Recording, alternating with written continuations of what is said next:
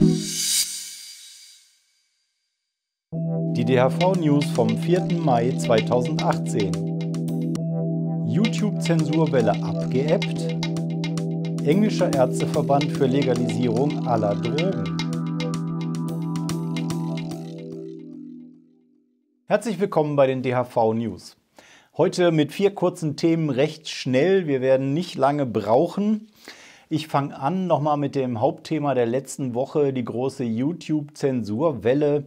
Scheinbar hat sich das erledigt oder macht Pause, wie auch immer. Mir sind keinerlei weitere Strikes, Kanallöschungen, Sperrungen äh, oder irgendwas in der Richtung bekannt geworden. Auch bei uns beim Handverband äh, gab es keine weiteren Altersbeschränkungen auf Videos. Die Woche davor hatten wir ja gleich vier auf einmal. Und es sind sogar Videos wieder aufgetaucht. Sense Media hatte noch sämtliche Videos auf privat geschaltet, als ich das letzte News-Video gedreht habe. Mittlerweile sind die Sense Media Kanäle der Micha und Green Germany aber komplett wieder am Start mit allen Videos. Und äh, der Micha hat auch ein Erklärvideo dazu gemacht und ähm, ist also der Meinung, dass es ausschließlich an verlinkten äh, Samenbanken lag, die dann bei den Videos unten drunter in der Beschreibung standen. Und OpenMind hat es sogar geschafft, seinen Kanal zu reaktivieren. Das dürfte ein äußerst seltener Fall sein, habe ich so auch noch nicht gehört, scheint nicht üblich zu sein. Aber mit über 300.000 Abonnenten ist OpenMind natürlich auch echt ein YouTube-Brecher geradezu schon, äh, jedenfalls für so einen spezialisierten Kanal. Seine Videos sind nicht alle online, es sind nur wenige online, aber er hat immerhin seine Abonnenten wieder und das ist natürlich ein schöner Erfolg für OpenMind. Herzlichen Glückwunsch. Ich bin gespannt, ob dazu noch ein Erklärvideo kommt, wie die Kommunikation mit YouTube gelaufen ist, die ja ansonsten fast unmöglich ist, wie wir selber auch festgestellt haben. Also war das ein kurzes Strohfeuer, äh, sind da nur die Algorithmen durchgebrannt, keiner weiß es so genau. Äh, YouTube selber äußert sich dazu nach wie vor nicht, auch Journalistenanfragen werden nicht beantwortet. Insofern kann man nur spekulieren und hoffen, dass die Zensurwelle jetzt erstmal vorbei ist und da keine weiteren YouTuber gesperrt werden, bloß weil mal Cannabiskonsum vor der Kamera zu sehen ist, während Alkoholkonsum auf YouTube ja offensichtlich überhaupt kein Problem ist. Der GMM steht jetzt unmittelbar voraus, der Global Marihuana Marsch. Die meisten Events sind am Samstag nach Veröffentlichung dieses Videos hier und insofern passt auf, verpasst nicht euren Einsatz. Bei den Terminen sind auch teilweise Politiker dabei. In Duisburg zum Beispiel sind gleich zwei Bundestagsabgeordnete am Start. Woanders sind dann Landtagsabgeordnete dabei, Kommunalpolitiker und so weiter.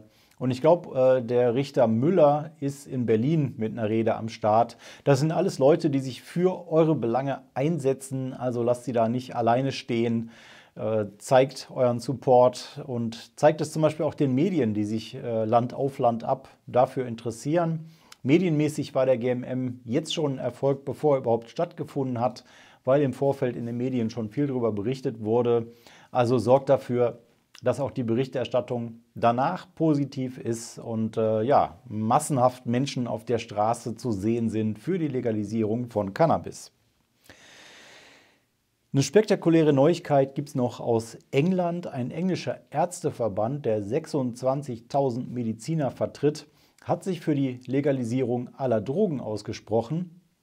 Der Verband ist der Meinung, dass die Prohibition grundsätzlich gescheitert ist und mehr schadet als nutzt und dass die Energie, das Geld viel besser investiert ist in Prävention, in Behandlung von problematischen Konsumenten als in Strafverfolgung. Und das ist natürlich beinahe spektakulär, wenn man sich anguckt, wie die deutsche Ärzteschaft immer noch reagiert. Deutsche Ärzteverbände, insbesondere Bundesärztekammer und so weiter, die immer noch auch äh, als Sachverständige sich gegen die Legalisierung von Cannabis alleine schon positionieren. Und äh, ja, da wird es langsam Zeit, dass auch die deutsche Ärzteschaft mal nicht nur darüber nachdenkt, wie gefährlich ist eine Substanz äh, oder kann, kann, können nur völlig harmlose Substanzen legalisiert sein, oder wie steht es eben auch mit der Prohibition? Erreicht die überhaupt ihr Ziel oder schadet sie mehr, als sie nutzt? Der englische Ärzteverband ist jedenfalls zu dem Ergebnis gekommen. Noch eine schöne Nachricht aus Afrika. Mit Simbabwe hat ein zweites Land jetzt nach Lesotho medizinisches Cannabis legalisiert. und auch angekündigt, demnächst Lizenzen für den Anbau von medizinischem Cannabis in Simbabwe zu vergeben. Das kommt jetzt relativ schnell hintereinander nach Lesotho, also der Riesenkontinent im Süden wacht langsam auf, was das Thema Cannabis angeht. So, das waren schon die inhaltlichen Themen und jetzt kommen noch ein Haufen Termine, insbesondere GMMs natürlich und die ganzen Global Marihuana Marches am Samstag, 5. Mai, nenne ich jetzt einfach nur mal ohne Datum hintereinander weg. Also, Samstag, 5. Mai ist Global Marihuana Marsch in Düsseldorf, in Viersen, in Wildeshausen, in Braunschweig, Halle, Augsburg, Erlangen, Dresden, Heidelberg, Passau, Weimar, Rostock, Nürnberg, Stuttgart, Mainz, Köln, Annaberg-Buchholz, Koblenz, Hannover. Sonntag, den 6. Mai, ist dann der GMM in Duisburg. Zwei Termine zwischendurch. Äh, DHV-Ortsgruppensitzungen. Einmal die DHV-Ortsgruppe Rhein-Neckar in Heidelberg, Montag, 7. Mai. Und die Ortsgruppe Erfurt, Mittwoch, 9. Mai. Und dann kommen wieder Global Marihuana Marches, Donnerstag, 10. Mai in Ingolstadt. Samstag, 12. Mai in Münster, Dortmund, München und Freiburg und Ulm, alle am 12. Mai. Ja, wie gesagt, schaut euch das nochmal an unter handverband.de slash gmm 2018. Da findet ihr auch die Startzeiten und äh, die genauen Startorte und so weiter. Lasst euch sehen auf der Straße, pusht die Legalisierung und ja, wie immer, liked dieses Video, abonniert diesen Kanal und ich wünsche euch einen schönen Tag und einen geruhsamen Abend.